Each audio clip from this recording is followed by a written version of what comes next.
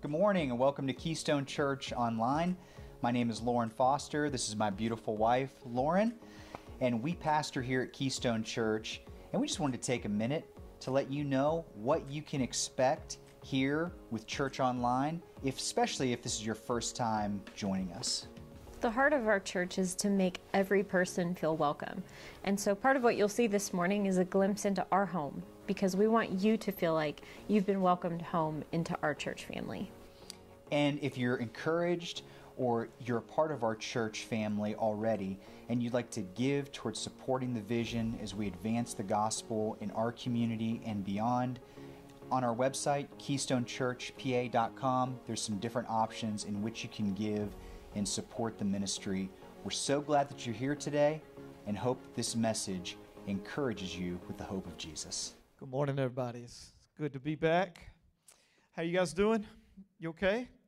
I think you're going to want to take notes today. So if you got a phone, pull it out. I'm going to hit a little bit about the church, and I'm going to talk a little bit about politics. So if you love this church, you're probably going to get tense here in a second. So, but uh, but if you got a Bible, go to Daniel 5, and I'm going to teach out of that for a little bit. And just how do we live, especially over the next 30 days? Because I don't know if you know it, this state is like the epicenter of politics right now. I mean, it is like in the middle of it all. And what we saw four years ago is how it was like everything Satan tried to do, he executed it perfectly and it wounded the church because the church didn't learn how to live above things in culture it was living below it and churches all across this nation closed their doors uh, since have closed their doors since 2020 just in the state of arkansas alone where i live 20% of the churches in our state do not exist anymore like they're gone. This is not just a, a pandemic we've been in, it's an epidemic of how do believers live in the days that we live in right now. Now, who in here would say, I've kind of had my belly full of all the political stuff? Would just raise our hand. Me too. Like, just, uh, and it's basically because how I was raised in a family where uh, one side of my family were diehard Republicans, and the other side uh, were diehard Democrats. And we all went to the same church, and everybody was passionate about it, and everybody thought that they were right. And so my, my grandfather, diehard Democrat, he would pick me up. He'd be on the campaign trail campaigning for Governor Edwin Edwards, who was just a crook. And so he would he would campaign, and I'd wear a little suit at like four or five years old. I have pictures of me with a microphone singing for Edwin Edwards, you know, some little lodge with 80 people in it, you know. And then and then my dad was part of the moral majority. He was definitely right about everything. And then we would get to Sunday dinner. Now Sunday we'd all go to the altar together, pray together. We loved each other. But then I learned by like nine years old, I could just tee up a question and watch them fight. And I just love I'm like, well, what do you think about the oil in the Middle East? You know, what, what do y'all think about that? And then they would just go on it, you know. They were at each other's throat. But when I've watched the the carnage over the last few years, I want you to have a biblical perspective of where you place some things in your heart and in your soul. So, first of all, David said in Psalm 146 3, Do not put your trust in princes who are mortal men, they cannot save you. I want us to say that last phrase together. They cannot save you. Jeremiah 17 5 says, Anybody who turns away from trusting me, this is what God is saying. Anybody who turns away from trusting me to put their trust in a human being will be cursed.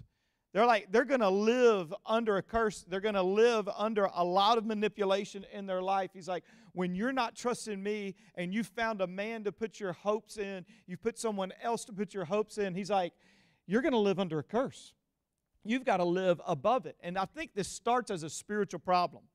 When, when we are more and more disconnected from Jesus Christ, we will, like the person who are, we are knowing less and less, we'll begin to put our trust in someone else who makes an impression on us. Isn't that true? Four years from now, where's Jesus going to be? On the throne. Amen? He's still going to be on the throne. He's still going to be in charge. And I, what, what I've seen, probably this, I've been in ministry 30 years now. But in the last 15 years, I've seen uh, this culture make idols of two types of people. And I want you to write this down. We're making idols out of pastors, and we're making idols out of politicians. We're making idols of those two people. And, and what we're, we're doing is we're saying, this is where I get my hope from. This is where this, these are the people that are going to have all the solutions that I need. They're going to provide for me. Uh, they're going to be protectors. And we've put them in a savior role. And the Word of God, first of all, says that God's people says this I don't put a human being in that role, I only put Christ in that role. Somebody say, Amen. There's only one perfect leader, and his name is Jesus and Revelation describes him as faithful and true. And when he comes back riding on a white horse, they said the one who's going to come back for us is still faithful and true. He's always going to be faithful and he's always going to be true. Amen. So no matter how you grew up or no matter how you're uh, where you're at, let me tell you a few stories, this, uh, a few principles about why politics is wearing us out. Number one, campaigning never stops anymore. It's like all the time. It used to be that we just got a breather. It's like okay, uh, the election is up now. The uh, election's over. They start they start campaigning the next day. The second thing is, it uh, politics has become more vicious than it's ever been before. If you are young, you won't know this, but when I was a kid, two two different politicians they would square off and debate and they still had respect for each other. What now everybody just goes for the jugular. I remember Ronald Reagan debating Walter Mondale, and they both had two different policy stances, and, and then they would laugh at each other, carry on. At the end of the day, there was respect. Politics today, it's like you're in a fight every day, and it's like, man, this is wearing me out. Now, more money is spent on this than it's ever been spent before. It's just like it's everywhere. I'm now getting text on my phone from political leaders. They're texting me on the phone. I watched one thing about the Antichrist, weird little thing on my reel. I'm in an algorithm I can't get out of. You know, I'm just like, every time I look on there, I was like, am I the weird guy? I don't know. I'm just like, it's like inundated everywhere with all this stuff. And so w- when you spend more money and it's every day, and then and then uh, the election, like the campaigning, never ends, then what happens is we exaggerate the importance of politics in our life. Listen to me. Jesus is not betting the farm on this election. He's betting the farm on you. He sat on a hillside one day and he goes, You are the salt of the earth and you are the light of the world. If this world is going to change, you've got to be salt and you've got to be light. It's not going to come from one individual, it's going to come from my kids. Amen? And so, what do you need to do over the next 30 days? Be the salt of the earth. Now, write this in your notes. That doesn't mean be salty every day. All right? There's a difference between being salty and being the salt of the earth. It just means that where I'm at, I'm going to fight for holiness. Where I'm at, I'm going to fight for the things of God. I'm going to stand for truth where I'm at. You go, well, Marcus, what do you do? This is how I do when it's election season, it's time to vote. I take my Bible, I get off in a corner, I look at policies, and I, and I got my study Bible out, and I go, what does God say about this? I am not swayed by emotions. I'm not swayed by words. I let the Word of God speak right here. Amen? So let me tell you this uh, first, and then we'll get into it. For every politician that gets on your nerves, there are hundreds that are living right, and they are serving you. So don't just say, I'm just tired of all of this. There are, I know and have many political friends, and they wake up serving this country every single day. Amen? For every pastor that falls into sin, whether it's sexual or financial or some addiction, let me just say, for everyone, there are thousands that are doing it right. Thousands that are getting these things right. So when you go to Daniel chapter 5, when you get there, I want to read about God weighing in on one thing, and then it's just going to be personal about how do I live my life over the next 30, 45 days. Daniel chapter 5. There was one king that God weighed in on, and this is what he was saying is, you need to know that I'm sovereignly in control of, of kings and uh, empires. So you get to Daniel, and you see different empires that are in control and they come and go. There's the Babylonian Empire, all of a sudden, and one night it falls. And you're at the Persian Empire and you see kings come and go. The only thing that really lasts, and this is a great place to just, I want you to stop and think about your life. The only thing that lasts in the book of Daniel is Daniel's own relationship with God. That's the empire. That was the thing that was strong no matter who was in office and how they were leading the country. Daniel was a man of God and he kept it. And the people that you see that God uses had a relationship with God in the book of Daniel. Daniel chapter 5 says King Belshazzar gave a great banquet for a thousand of his nobles and drank wine with them. While Belshazzar was drinking his wine, he gave orders to bring in gold and silver goblets that Nebuchadnezzar, his father, had taken from the temple in Jerusalem, so that the king and his nobles, his wives, and his concubines might drink from them. So they, they brought in the gold goblets that had been taken from the temple of God in Jerusalem, and the king and his nobles, his wives, and his concubines drank from them. As they drank the wine, they praised the gods of gold and silver, of bronze, iron, wood, and stone. And suddenly the fingers of a human hand appeared and wrote on the plaster of the wall near the lampstand in the royal palace. The king watched the hand as it wrote. His face turned pale, and he was so frightened that his knees knocked together and his legs gave way. The king called out for the enchanters, astrologers, and diviners to be brought and said to these wise men of Babylon, Whoever reads this, uh, this writing and tells me what it means will be clothed in purple and have a gold chain placed around his neck, and he will be made the third highest ruler in the land. Let me tell you this first. It wasn't that they didn't understand the writing, they just didn't understand what it meant.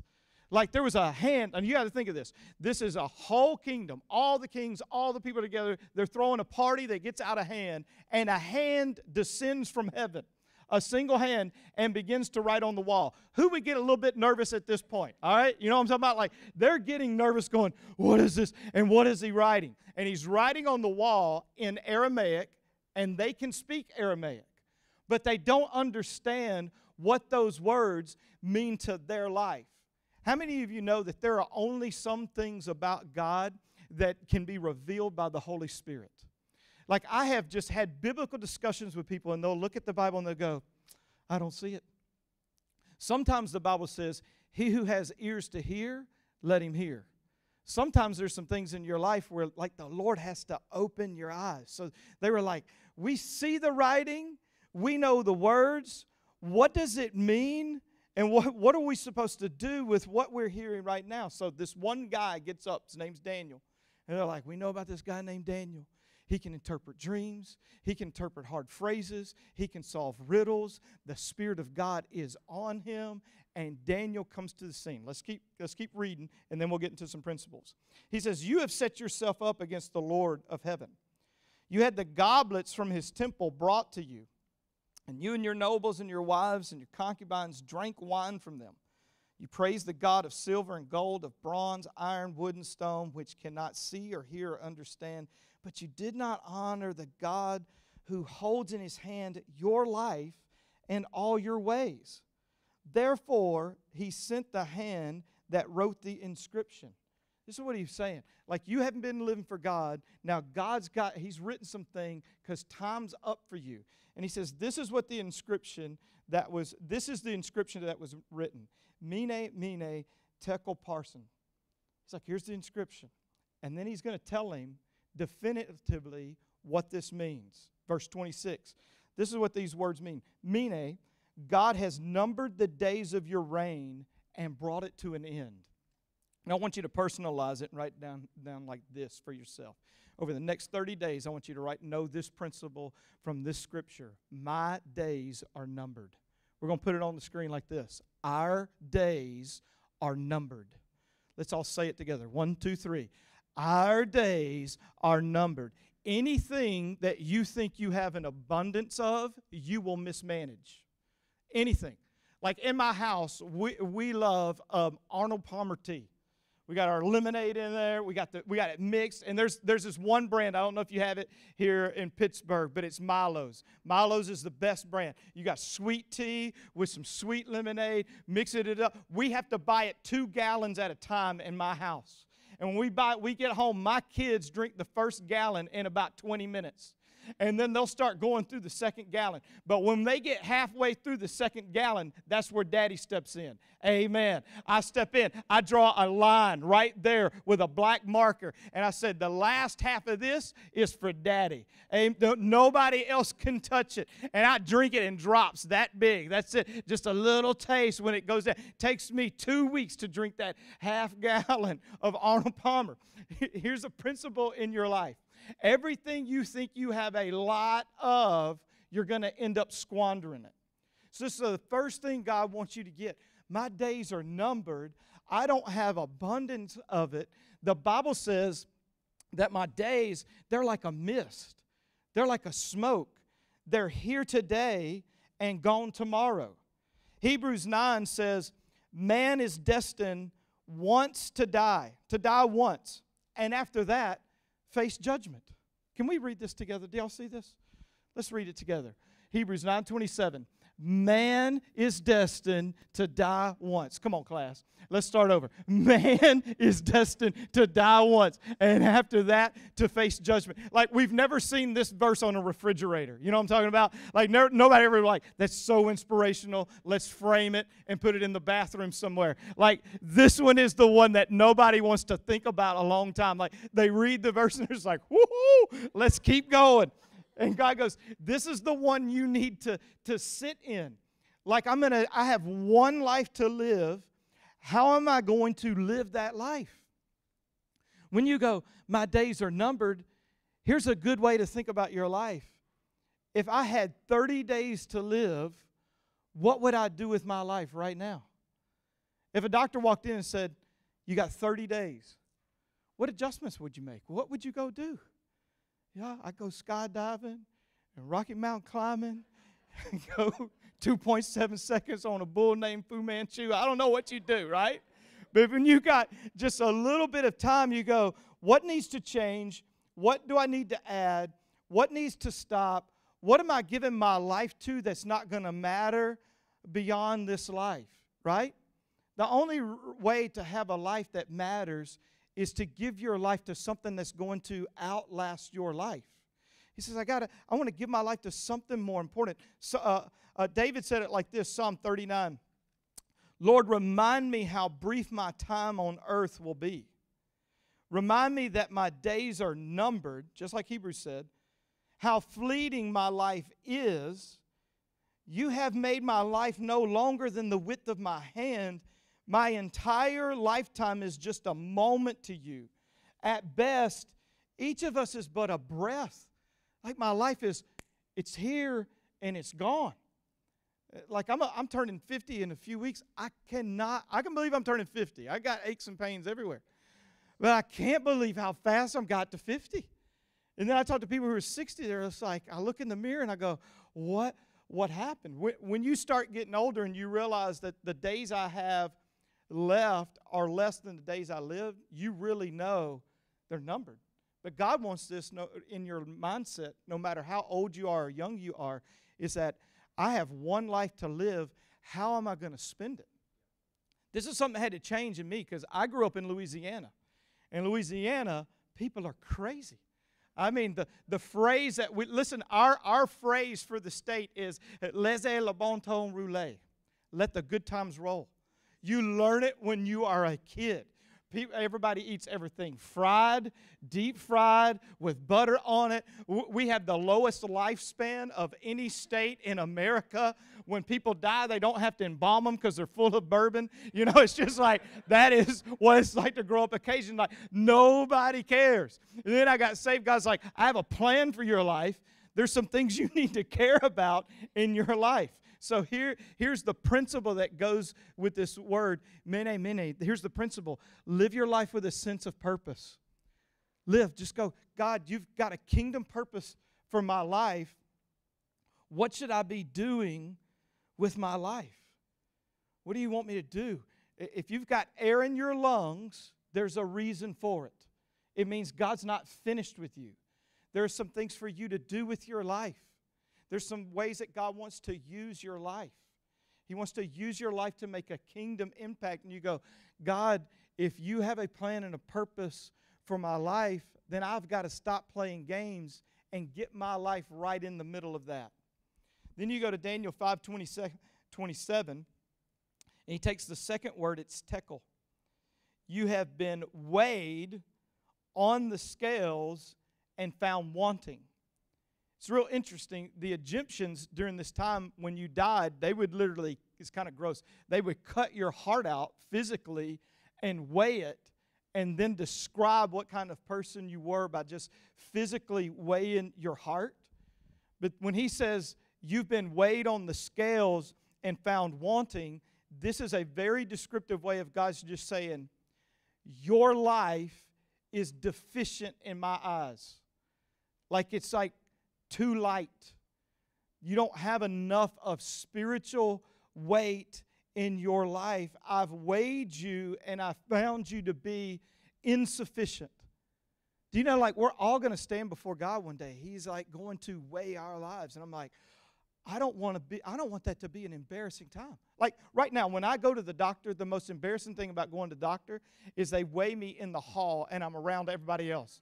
That's the most embarrassing thing. They're just like, hey, Marcus, get on the scale. I'm like, can we wait a second? Y'all need to come on by. You know, because I know people are staring at the scale. And then when I get on the scale, you know, and it feels like everybody's looking at it, I feel like I need to make an excuse. I'm like, I ate Mexican food this week. You know, you know, I've just a lot. And last time I actually said, I think a lot of this is muscle. And my doctor, she looked at me. She's like, it's not. And uh, and I'm just looking at it. It just feels hopeless, right? One day, we're going to stand before God, and He's going to weigh us. But you need to be weighed on this side of eternity. If you want to be wise, weigh yourself now. When he's, when he's literally describing this, this is what he's meaning. He was saying, I've weighed you on a scale. It's like the scales of justice. And this is what he was saying I've weighed you, and your life is out of balance. You don't have real balance with your life. And when it comes to your spiritual life, you've got a, a lot of other things in your life that are outweighing who you were meant to be spiritually. And I want the spiritual side of your life to be the weightiest thing of your life. And sometimes we have ways that we describe it like, hey, I'm in a dry season, or I'm feeling empty right now. God's saying, I weighed you though, and I found you wanting. There's more of me that you need in your life. So that's what you do. And I've been doing this in the mornings for about six weeks now. And here it's the principle number two weigh yourself with God. I've been doing this in the mornings. David said it like this Psalm 140, uh, 139, 23 and 24, he says, Search me, O God. This is a prayer. This is a prayer I'll pray. Search me, O God, and know my heart. Try me and know my anxieties, and see if there is any wicked way in me, and lead me in the way everlasting. Like i have been uh, carving out some time to spend with God in the morning, and what I've been doing is I'll have like a track that I pray on and it's and it's an it's actually the Old Testament tabernacle. I have it in my mind. And so when I start praying, I'll start with thanksgiving. Yes, how you, you enter God's gates and you would enter the gates of the tabernacle with thanksgiving. So I'll just start and I'll just say, God, I just want to tell you everything I'm thankful for today. I'm thankful for my wife, and then I, I'm thankful for my kids. I'm thankful that I got a truck to drive and it's a Ford and it's not a Dodge. And God, I just want to, th- and I'll just walk through anything that I can think of to be thankful for, I'll be thankful. And so when you walked, it was literally a gate. It was real light, it wasn't made of wood, and you would just go through, and that was your gate of thanksgiving. The next thing you would come up into in the, in the Old Testament tabernacle is the brazen altar.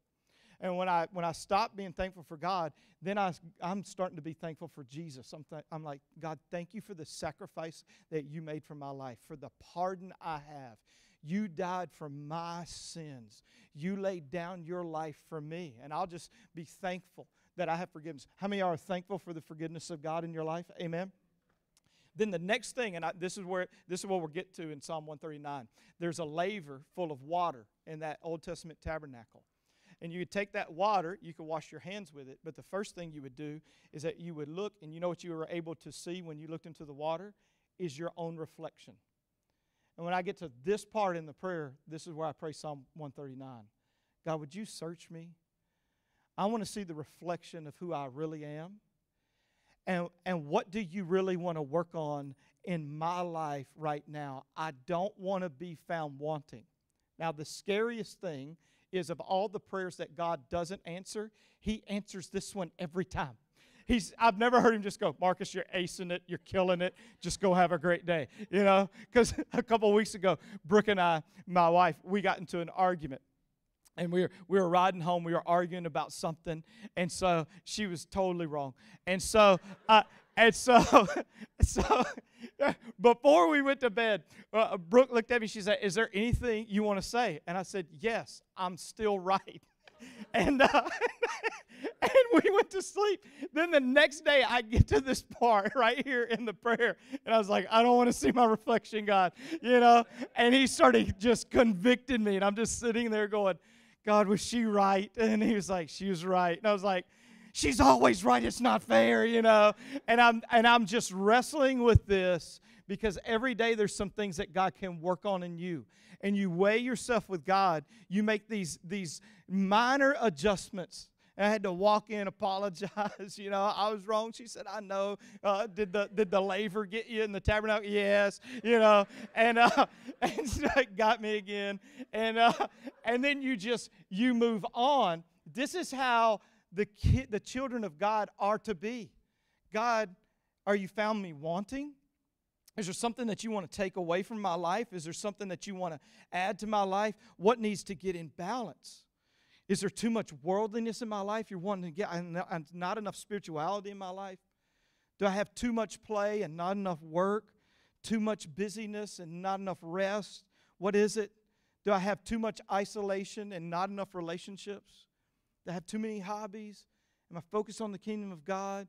And if you will let God weigh you on the scales, He'll go, here's the exact balance I want you to live your life with. Isn't this great? Like right in the middle of a mess a political mess, God gives us one of the greatest messages of all, and He wrote it with His hand. And I'm telling you, this is the message for us right here for the next 30 days. God, my days are numbered. All right? God, I need to weigh my life uh, uh, with you. I need to be in the purposes of God, and I need to be in balance spiritually in my life. Then He gives him the last word. And in a singular sense, it's Peres. But, he, but in, the, in, in verse 27, he says, Mene, mene, tekel, tekel parsin. But it's Peres. Your kingdom is divided and given to the Medes and the Persians. I want you to write this principle down. This is what it meant. God has given you warning signs that you're not paying attention to. It's interesting that from this word Peres is where we get the Hebrew word prophetic from. And this is basically what he was saying I have sent you voices to speak to you. I've sent you my word, I've sent you people, and I've sent you prophets, and I've given you warnings from the heavens above. And everything I tried to warn you with, you didn't pay attention to the warnings. You didn't pay attention to all the warning signs. And right now, it's too late. He's telling them, you should have heeded all of the warnings. I was watching this thing on uh, climbing Mount Everest. And the people that climb Mount Everest, you get to 26,000, it's like 26,200, 26,200 feet. And that's where they make sure they have their, their oxygen tanks on and everything, but you still have 3,000 feet to go to climb. And then you got to get back down. But at 26,002, no matter how much oxygen you put on your back, you're, going you're dying. You're dying for 3,000 feet up and 3,000 feet down. And so you have all of this equipment that is strapped to you. And once you hit 26,200 feet and you start going, you are hearing the warning signs every step you take. Because even with oxygen, breathing through oxygen tanks, like there is nothing up there. People get delirious. How many of you in here have climbed a mountain before? Anybody in here? Just a few of you? I climbed um, Pikes Peak. It's a 14,000 uh, feet up there. I climbed it But you know, I'm, I'm a Cajun from Louisiana. We're lowlanders. So I went from Louisiana and then we went up we, uh, to Colorado Springs. The next day, we're climbing Pikes Peak. When I got above tree line, I got delirious. I mean, I started seeing unicorns and I was talking to squirrels. They were talking back. It was just like, I'm losing it. And they called that a death zone. And they said, when you're in a death zone, you got to get back to where life is at. And when I, when I was watching this thing about Mount Everest, I thought, isn't this true with a lot of us in our lives? We have things in our lives that are in a death zone right now because we've been ignoring some warning signs from the Holy Spirit. And we look at relationships, and if we were honest, we're just like, that relationship in my life, it is dying right now. That dream that I used to have from God, it's, it's dying. Or my spiritual passion that I used to have about the things of God, it's like, it's like in a death zone, and some things that are so precious to me are in a death zone. Uh, what do I need to do? Here's the, the third thing is you've got to pay close attention to what God is speaking to you right now because his words will bring life to you.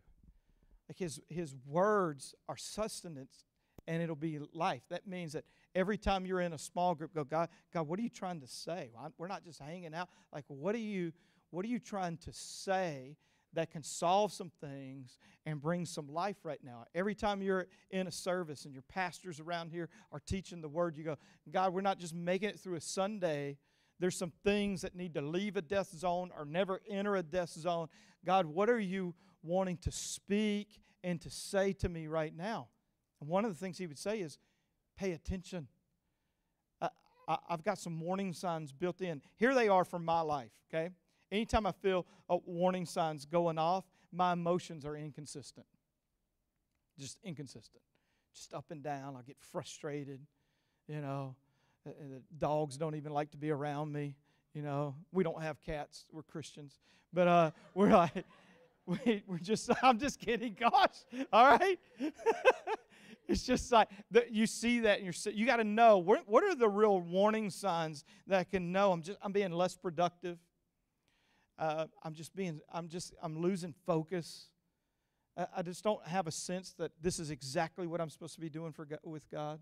For me as a pastor, it's like I don't know what to preach on on Sunday. That's a warning sign. It's just like I don't have fresh bread in my spirit for people. That's one of them for me. It's going to be something around your career, something in your relationships. There's going to be some things like when I, when I just feel like I'm not getting inspiration from the Holy Spirit. Y'all know, y'all know ever get that nudge from the Holy Spirit? And I'm like, I'm missing all the nudges. What's uh, what's going on? These are some warning signs that need to make you go, you know what? I need to back up and get away with God right now. Like a bunch of these men did this weekend. You know what happened to them when they got away and went on a retreat? There was a sensitivity to the things of God. That always, when you go on a retreat like that, there's some callous things that break off, and all of a sudden, you can't describe it any other way that you're just like, God is closer right now, right? So when you have the warning signs, here, here is a, a scripture. It's Psalms 46:10. I live by. It's time for me to be still and know that He is God. Amen. I've got to get away, get still, and get reconnected right now. Pay attention to those warning signs. Amen. Y'all stand on your feet. I want to pray for you. Mm.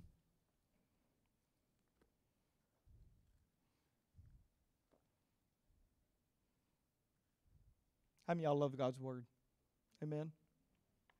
I'm to pray. I'm to pray for your spiritual life. I'm going to pray for God to just just over this next month that every day you feel like God is speaking to you, you're getting closer to him. So let's just start personally just right there. Every head bowed and every eye closed. God, I pray for your sons and daughters in this place right now. I pray for a deeper hunger for the things of God to be in their life. I pray for a thirst for the things of God in their life. Let nothing live in them that needs to die, and let nothing die in them that needs to live. Pray for some things that could be secrets, addictions, strongholds, and our lives. Let them be uprooted right now in Jesus' name. And I pray that you'll clothe us with your righteousness and give us power to walk out the things of God in our life in the name of Jesus. I pray over the next 30 days we'll be the salt of the earth and the light of the world. We'll reflect Jesus everywhere we go. We'll be the preservative to our country, to our country and our culture everywhere we go in Jesus' name. You're betting the farm on your kids. I pray for more influence for the things of God in our lives. In the name of Jesus. Let us live with a sense of urgency. My days are numbered. I got to get busy doing kingdom things. Let's live with that. Let us, let us live with just some passion around the things of God. Let's get our lives. How many of you would say, I need to get my life into some spiritual order, spiritual balance right now? Raise your hand. Let me just see all that is. Yeah, me too. I'm working on it. God, help us. We don't want to just be judged from it, we want to learn from it, walk in it, in spiritual power and spiritual strength in the name of Jesus. Some of you are here and you know you've been some of you are ignoring warning signs in your health, warning signs in your relationships. God just he wants you to get clean right now. It's almost like a wake up. Like okay, no more warning signs. It's time to make some adjustments right here today in Jesus name. Mm. In Jesus name.